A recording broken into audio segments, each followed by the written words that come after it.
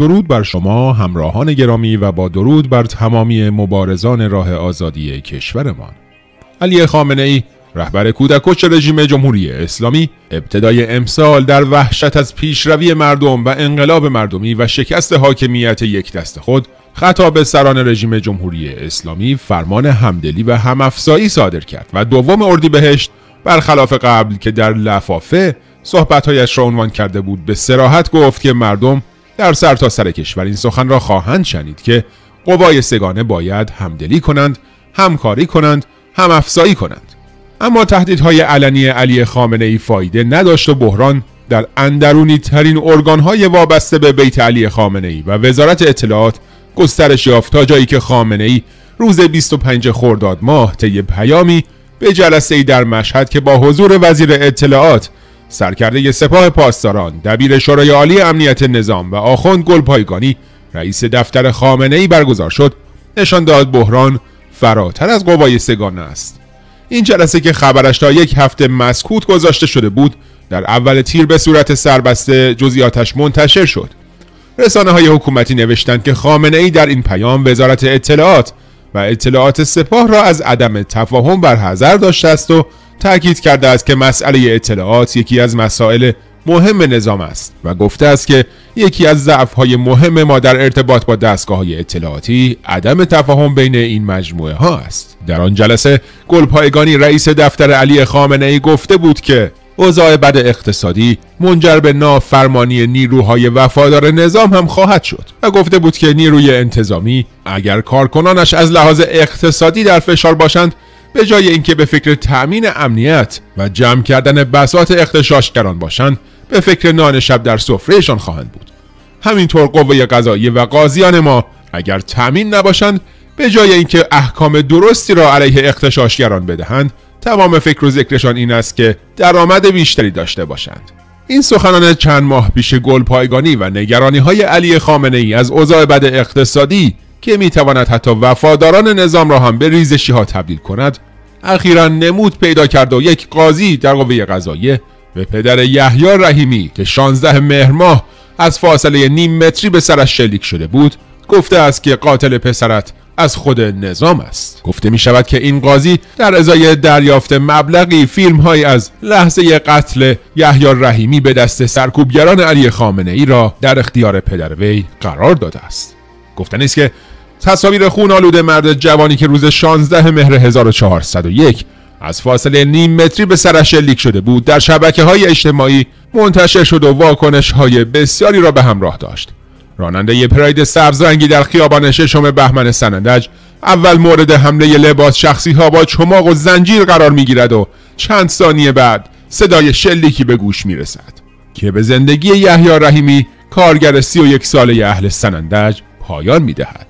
در گواهی فوت او علت مرگ آسیب مغزی شکستگی و خرد شدگی استخوان جمجمه در اثر اصابت پرتابه پرسرعت عنوان شده است طبق روایت پدر یحیی در اولین تماس ها او تهدید می شود که یا دست از پیگیری بر می یا فرزند دیگرش را هم از دست می دهد. آقای احمد رحیمی پس از آن به تنهایی و بدون کمک گرفتن از وکیل برای دادخواهی خون پسرش اقدام می کند و ده روز پس از جان باختن یحیی شکایتش را ثبت می کند اما تا نه ماه کسی به شکایت او رسیدگی نکرده است. او در اظهاراتش گفته است که یک بار به من می‌گویند قاضی رفته مرخصی یک بار می‌گویند برو ده روز دیگر بیا بار دیگر می‌گویند قاضی پرونده عوض شده است بار دیگر می‌گویند پرونده به دادسرای نظامی رفته بار دیگر می‌گویند پرونده به تهران رفته یا حتی برخی به ما گفتند که قاتل از اعضای کمله بوده است.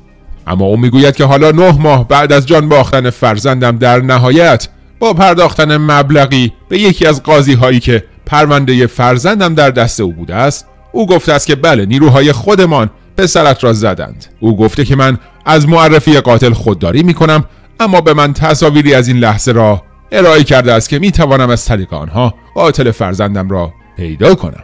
پدر یحیی به نقل از مغازه داران آن محدوده گفته است که در همان ده دقیقه اول دوربین های تمامی مغازه های اطراف محل جان باختن یحیی را جمع آوری کردند.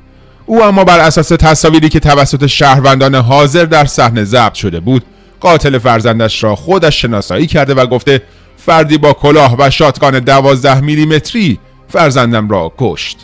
به گفته آقای رحیمی روز 16 مهر 1401 در خیابان ششم بهمن سنندج نیروهای لباس شخصی سپاه و لباس نظامی حضور داشتند و آنها همانهایی بودند که فرزندش را کشتند اتفاقاتی از این دست نشان می دهد که اوضاع بد اقتصادی و عدم توانایی رژیم جمهوری اسلامی در تأمین حتی خودی ترین نیروهایش سبب فروپاشی درونی این رژیم خواهد شد و به قول معروف مار گرسنه ای که خودش را می‌خورد اکنون نماد جمهوری اسلامی شده است. عدم توانایی رژیم جمهوری اسلامی در اعمال حاکمیت در داخل کشور حالا به مرحله خطرناک رسیده است. اگرچه به نظر می رسید پس از فروکش کردن اعتراضات سال گذشته حاکمیت به صورت خوشخیالانه فکر کرده است که درس های لازم را گرفته است و اقدامات لازم را انجام داده است.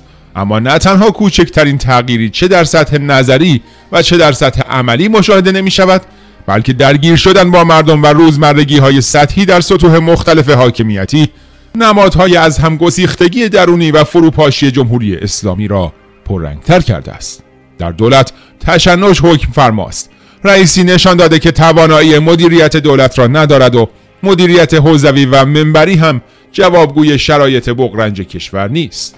حکومت برای جلوگیری از تندروی های مذهبی بسیار ناتوان ظاهر شده است.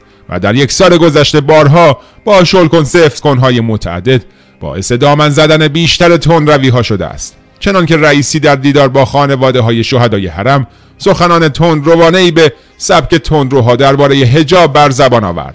تمرکز تندروها بر حجاب اجباری و درگیر کردن بدنه اجرایی حکومت در این موضوع باعث از بین رفتن توان مدیریتی کشور شده است.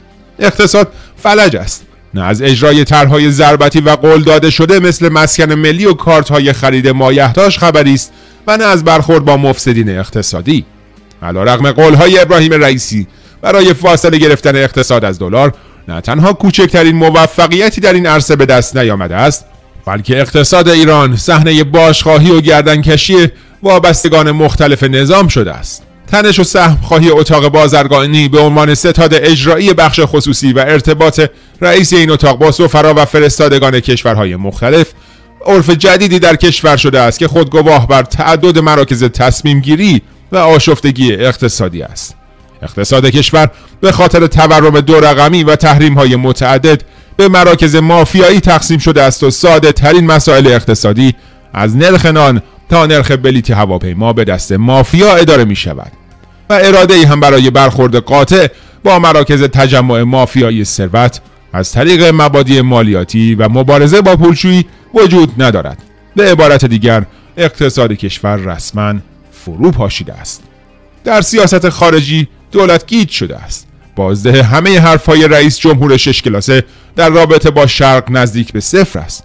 در رابطه با همسایگان از عربستان و عراق گرفته تا پاکستان و افغانستان هم شاهد اقتدار اجرایی نیستیم جمهوری اسلامی به تمامی این کشورها باج می‌دهد و قادر به حفظ منافع خود در ارتباط با این کشورها نیست. پاکستان از اجرای خط گاز انصراف داد. طالبان چندین مرکز ایرانی را تعطیل کرد. عراق حل همه مشکلاتش با ایران را به حکومت عمان پاس داد. ترکیه و آذربایجان هم تا مرز لشکرکشی ارتشی پیش رفتند و آمریکا هم سرگرم لشکرکشی در خلیج فارس است. در این میان روز به روز این زمزمه در میان مردم و حتی بدنه حکومت بیشتر می شود که اگر رژیم جمهوری اسلامی هرچه زودتر براندازی نشود ایران و ایرانی به فروپاشی می روند.